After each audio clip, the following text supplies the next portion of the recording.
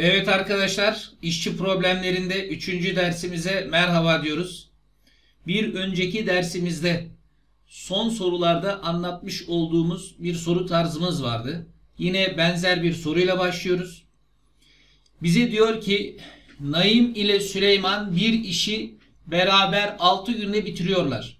Eğer bir işçi probleminde ya da havuz probleminde sorunun girişinde işçilerin işin tamamını ne kadar sürede bitirdiğini vermiyor ya da muslukların havuzun tamamını ne kadar sürede doldurduğunu vermiyorsa biz bunlara geçici olarak işte XY demeyelim de isimlerinin baş harfini kullanalım. Naim işin tamamını güya tek başına N günde. Süleyman ise S günde bitirsin. Daha ikinci cümleye geçmeden birinci cümleyle ilgili hemen şu denklemi yazabiliriz.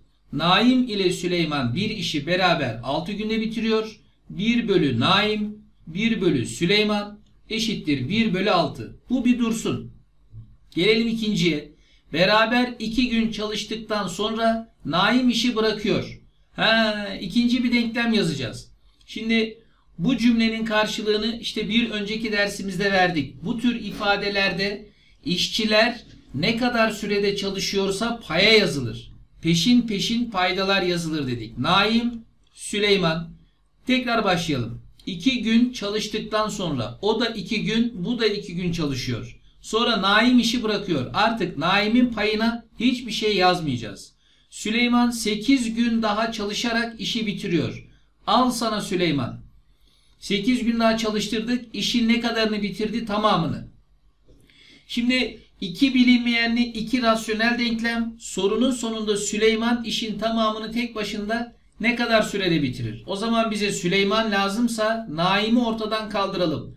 2 bölü Naim'i eksi 2 bölü Naim ortadan kaldırır. Yukarıyı eksi 2 ile genişletelim. Taraf tarafa toplayalım. Ben bunları genişlettim arkadaşlar. Şimdi taraf tarafa toplamada birbirini götürenler götürsün. Eksi 2 bölü Naim artı 2 bölü Naim. Eksi 2 bölü Süleyman 10 bölü Süleyman olur sana 8 bölü Süleyman. 1 eksi 2 bölü 6 hemen halledelim bu işi burada. 4 bölü 6 sadeleştir hocam çarp hocam Süleyman eşittir 12. Soru bitti. Süleyman bu işi tek başına 12 zamanda yaparmış arkadaşlar. Hadi bakalım. Sıradaki sorumuz sizin için farklı bir bakış açısı, farklı bir bilgi içeriyor. Burada konsantrasyonunuz tam olsun. Defterinize, kitabınıza özellikle burayla ilgili güzel güzel notlarınızı alın. Allah Allah. Ayhan Turhan'ın iki katı, Orhan'ın üç katı hızla çalışmaktadır. İşin içine hız girdi. Hız ile işin bitirilme süresi ters orantılıdır. Hızlı olan az sürede, yavaş olan çok sürede bitirir. O zaman hızlar için konuşalım. Ayhan, Turhan, Orhan. Şimdi söyleneni yapalım. Ayhan, Turhan'ın iki katı, Orhan'ın üç katı. Bana öyle bir sayı söyle ki hem 2'nin hem de 3'ün katı olsun. 6 hocam. Bravo. O zaman Ayhan'ın hızına 6V dersem Turhan 3V hızıyla Orhan da 2V hızıyla çalışır. ÖSYM öğrenciye bu tür girişler yapar. Öğrenciden de şunu ister. Hızdan süreye geçiş yapsın. İşçi problemlerinin en başında anlattığım temel mantıkta paydaya süre yazılır. İşin bitirilme süresi. Hız yazılmaz. O zaman 6, 2, 3 yine 6'da birleşir. Biz Ayhan için şunu söyleyebiliriz arkadaşlar. Eğer Ayhan 6V hızıyla bu işi tek başına T sürede bitiriyorsa Turhan hani 6VT işin tamamı o zaman bu 2T'de bitirir. Orhan 3T'de. Hocam nasıl oldu? 6VT olması için 2T olması için 3T ile çarptık. Hız ile işin bitirilme süresi ters orantılıdır. Yaz onu oraya. Önemli bir bilgi. İşte amacımıza ulaştık. Hızlardan süreye geçtik. Ayhan tek başına T'de, Orhan 2T'de, e, Turhan 2T'de, Orhan da 3T'de bitiriyormuş. Diyor ki 3'ü birlikte 12 günde. Yaz o zaman. 1 bölü T, 1 bölü 2T, 1 bölü 3T eşittir 1 bölü 12. Soru bitti. Eşitle paydaları oradan 6, 3, 2 topla 11, 6, T 1 bölü 12 falan filan 2 bir içler bir dışlar T buradan 22. Bize neyi sordu?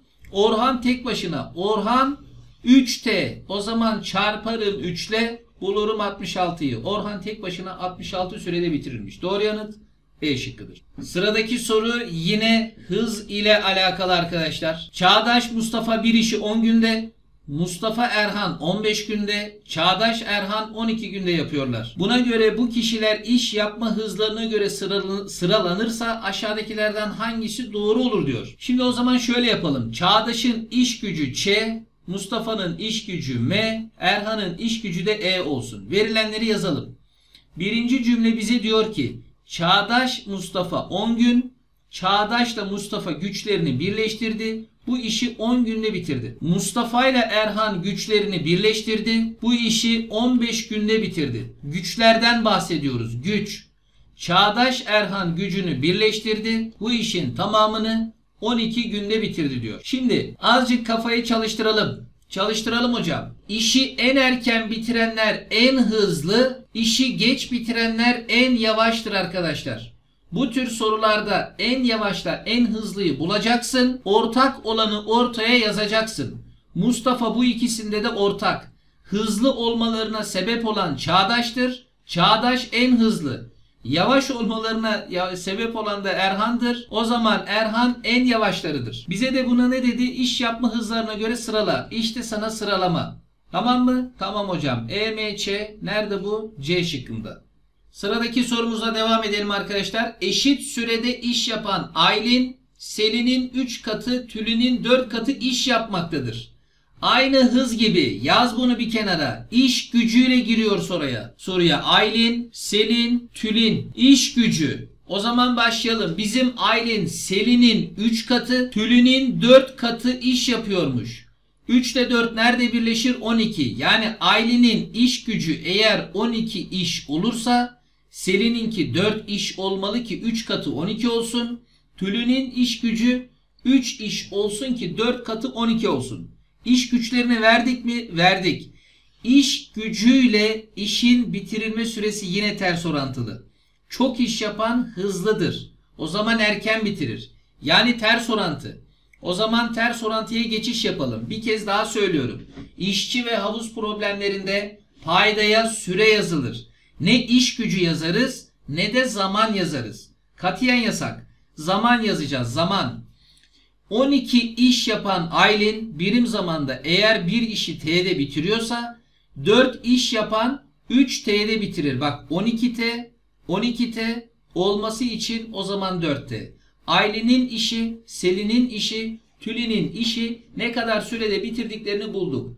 Bu yüzden zaten bize iş verdi, geçiş yapmamızı istedi. Aynı hızlarda olduğu gibi. Bu 3 kişi 12 günde bitiriyormuş. 1 bölü T 1 bölü 3T artı 1 bölü 4T eşittir 1 bölü 12. Payda eşitleyelim hocam. Bunu 12 ile bunu 4 ile bunu 3 ile topla 17 12 eder sana 19 bölü 12T eşittir 1 bölü 12. Oradan buradan T eşittir 19. Bize kimi sordu? Tülin tek başına. Tülin 4. 4 kere 19 40 oradan 36 eder sana 76. Tülin tek başına 76 sürede bitiriyormuş arkadaşlar. Doğru yanıt B şıkkıdır. Arkadaşlar sıra geldi usta çırak sorularına. Şimdi buradaki usta çırak sorumuzu ufak ufak irdeleyelim. Önce usta için konuşalım, sonra bir de çırak için konuşalım. Şimdi bize verilen bilgi 3 tane usta bir günde 12 masa. 3 usta bir günde 12 masa. Bunu şöyle biraz kenara alayım. Şunu da biraz sağ tarafa alayım. Çırak için diyor ki 2 çırak 4 günde 2 masa yapıyor. Şimdi ilk hedef bir usta hangi zamanda ne yapıyor? Bir çırak hangi zamanda ne yapıyor? Onlara bir bakalım. 3 usta bir günde 12 masa yapıyorsa bir usta bir günde 3'e böl 4 masa yapar. Yaptığı iş bu. 2 çırak 4 günde 2 masa.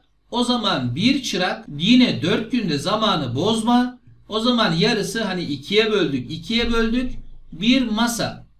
Şimdi sol taraftaki ustayla Sağ taraftaki çırak arasında bir bağlantı bulalım. O da zamandır. Sen sen ol bu tür sorularda ortak zamanda ne kadar iş yapıyorlar hemen ona bir bak. Şimdi bizim çırak 4 günde bir masa yapıyorsa peki bizim bir usta 4 günde kaç masa yapar? E 4 katına çıktı 4 katına çıkar 16 masa. Ha, şimdi ne yapacağız hocam? Bir ustayla bir çırak ortak zamanda ne yapar? Oradan hemen bir ufaltalım. Şöyle kendimize bir yer açalım. Bir usta ile bir çırak bak 4 günde 4 günde beraber ne yaparlar? E şimdi 4 günde usta 16 masa, çırak da bir masa toplarsan 17 masa yapıyorlar. Tamam mı? Tamam hocam. Bak bir çırak bir usta 4 günde. Soru bize diyor ki bir usta bir çırak 68 sandalyeyi özür diliyoruz masayı kaç günde yapabilir? 17 masayı 4 günde yapan bir usta bir çırak 68 masayı kaç günde yapar? Al sana doğru orantı. Hep söylüyorum yine söylüyorum. 17'nin kaç katı 68 eder? 4 katı. O zaman 4'ün 4 katı olur sana 16. Yani bizim bir ustayla bir çırak 68 tane masayı 16 günde yaparmış. Doğru yanıt E şıkkıdır. Bir başka usta çırak sorusuyla beraberiz arkadaşlar.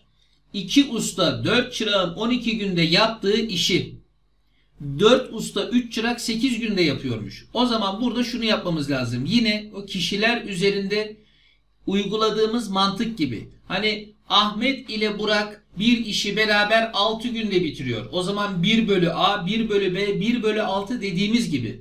Usta bir işi tek başına U günde bitiriyorsa iki ustanın iş gücü bir araya gelirse 2 bölü U olur.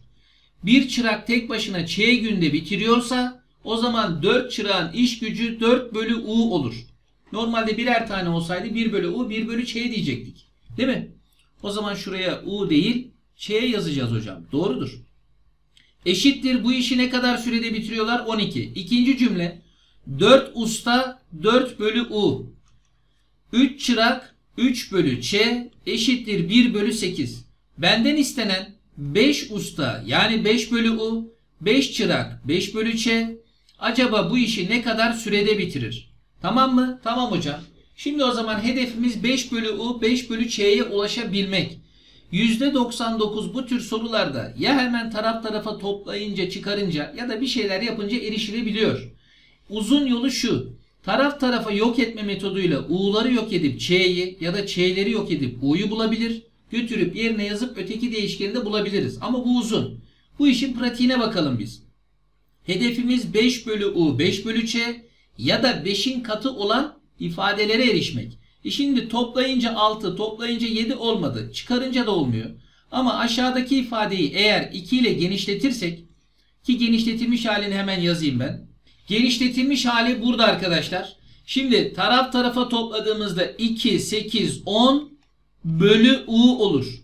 4, 6, 10 bölü Ç olur. Eşittir 1 bölü 12 artı 2 bölü 8 eşittir 1 bölü t arkadaşlar. 1 bölü t. O zaman sol taraftaki şu ifadeyi önce bulduğumuzu düşünelim. Sonra iki parantezine alıp onu da o zaman şöyle yazdığımızı düşünebiliriz. İki parantezinde 5 bölü u 5 bölü çırak eşittir. Şunu hemen halledelim arkadaşlar. Sadeleştirdiğimde 1 bölü 4 olur. Hocam bunu 3 3 bölü oradan 4 sadeleştirdiğimde 1 bölü 3 olur. Yani eşittir. Benim bu 1 bölü t dediğim 1 bölü 3 gelir. İki parantezinde yine 5 bölü u 5 bölü çırak eşittir. Şu 2'yi aldım aşağıya attım. 1 bölü t eşittir 1 bölü 6 oldu. Yani benim aradığım zaman 6'dır arkadaşlar. 5 usta 5 çırak aynı işi 6 günde yapabiliyormuş. Doğru yanıt A şıkkıdır. Değerli arkadaşlar işçi problemleri burada biter. Yolumuza havuz problemleriyle devam eder. Bir sonraki derste görüşmek üzere. Hoşçakalın.